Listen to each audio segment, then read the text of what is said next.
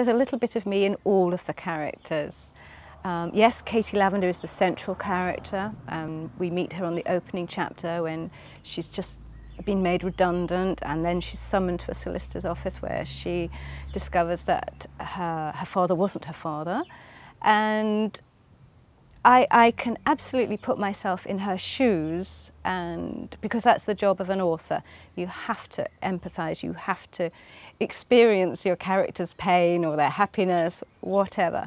Um, so I've always done that. I've been able to picture myself in that very same situation.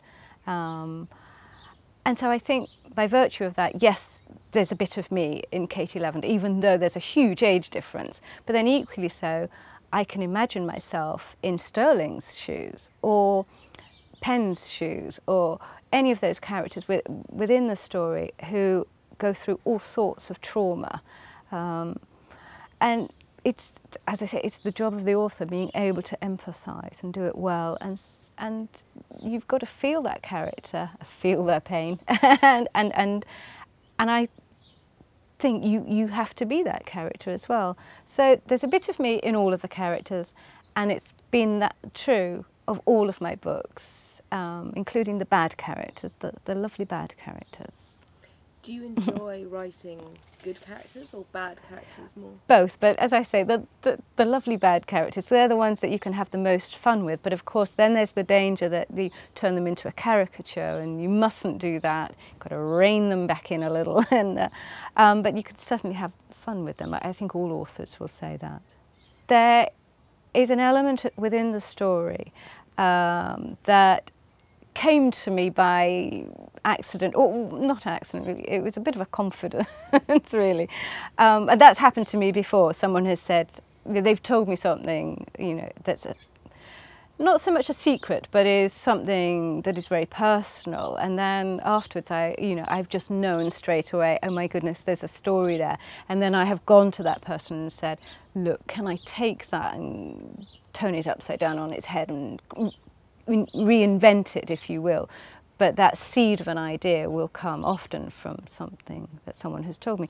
And certainly with the real Katie Lavender, there's an element within the story that um, I was, was told, sort of unwittingly really, that I then read about in the newspapers. Um, and that sparked a whole storyline for the book, which, yes, I couldn't have written the book without it actually. as you get older, you do realise, gosh, today could be my last day on earth. I'm going to make the most of it and have some fun and, and work hard and, and just make the most of it. I suppose that is the one thing maybe I've learned. Also, the way my life has gone, um, you know, the changes that I've experienced, dramatic changes, um, yeah, I, I'm just continuously fascinated. And I, I, the one thing I really have learned is you don't know what's going to happen tomorrow. I'll meet someone who is a stranger, and if, if I really like them, and they might not be a stranger for very long, and then it's at that point perhaps that they might start telling me things that I think, oh, that's quite interesting. But just recently, and I, it was on, uh, on two long flights actually. Last year when I was going to Australia, it was going there and back. I was told fascinating stories by people sitting next to me, which I have stored away and will be in not the book that will come out next year, but the book that will come out the following year, hopefully. They're there.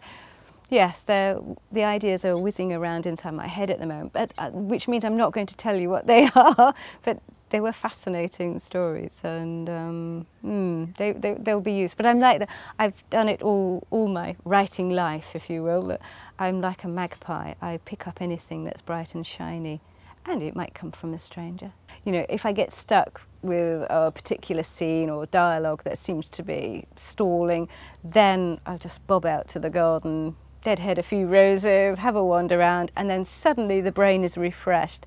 But yes, I'm very fortunate that I have a lovely garden and um, and a very nice little study that I love working in and I love writing here but of course I do spend a lot of time in Italy and I'm very fortunate to have an apartment on the lake there where when I have the same problem, if I get stuck in a particular scene, I go and stand on the balcony and watch the boats going by on the lake. Which authors do you admire? The first one that comes to mind is Agatha Christie for sheer output. Extraordinary. I would love to be able to. Do, I mean, I've just finished my 17th book, so I've got an awfully long way to go, and I don't think I'm going to do it. I'm not going to live long enough, but I just think it's amazing that she created so many stories that are still popular today, that are still being filmed, and, and I think that's truly admirable. Another author I really like, for sheer feel good factor, H.E. Bates for Darling Buds of May. Now, you know, everyone's seeing it on the television, but the books are absolutely enchanting, and I, and I love that just losing oneself in a beautiful world. Um, and I, I I try to do it a little bit in my books, you know, with the real Katie Lavender, the, the garden that features there. It's sort of an oasis of calm. Um, and always, yeah, I, I love that, that element of escapism because that's what a good book is. Do you have any romantic heroes? No, not really. Now, I, television, yes, actors, sort of real. I, I know that then sounds a bit superficial, doesn't it? but for instance, um, I would love for David Tennant to be in one of my books, and it would be um, Tell It to the Skies. I would love for him to play Noah in, in later in life. He would be perfect. In fact, when I was writing that book, I imagined David Tennant in the role. So yeah, he, he's definitely up there. And then of course you, you've got to have the Clunster, George Clooney in there. When I was writing The Holiday, which goes way back when, one of my earlier books, I pictured him as Theo. Um, so yeah, so are they my romantic heroes? Well, maybe. I'm now 52. Two years ago, I had a significant birthday, and one of my um, promises to myself that I was going to start doing new things, and one of those was to learn to ice skate. So that's a hobby, and that always takes people by surprise. Um, and I've been having skating lessons now, oh, I don't know, for about 18 months, maybe a bit longer. And I absolutely love it. I'm hopeless, I'm no good. You know, I, am aiming for dancing on ice one day, of course.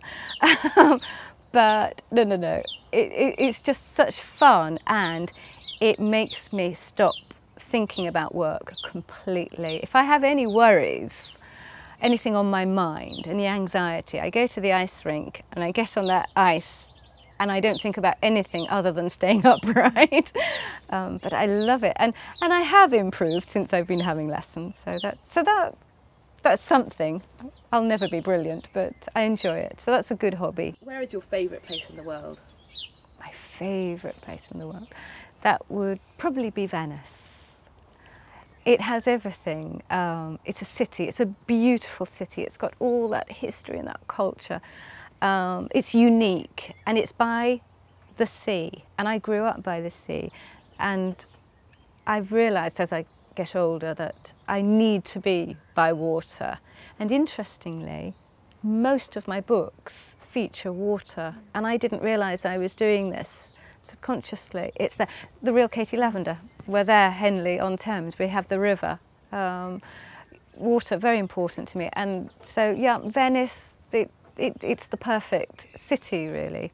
Um, but then I love Lake Como as well, but I'm by water again. what are you writing about now? I've just finished um, writing The Hidden Cottage, and that that is another book about a family um, because Katie Lavender, she gets absorbed into a whole new family.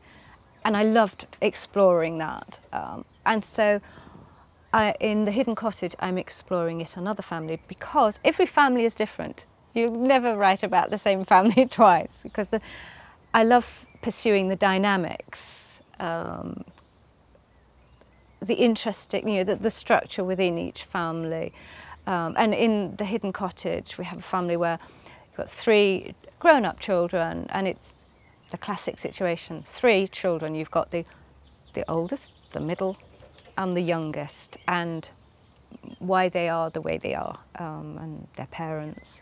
But it's not just about the family. There's also another character called Owen who is returning to a place where he grew, where he spent a year of his childhood, um, and it's why he's returned, and, and yes, all that exploration of new characters coming together, which I absolutely love doing.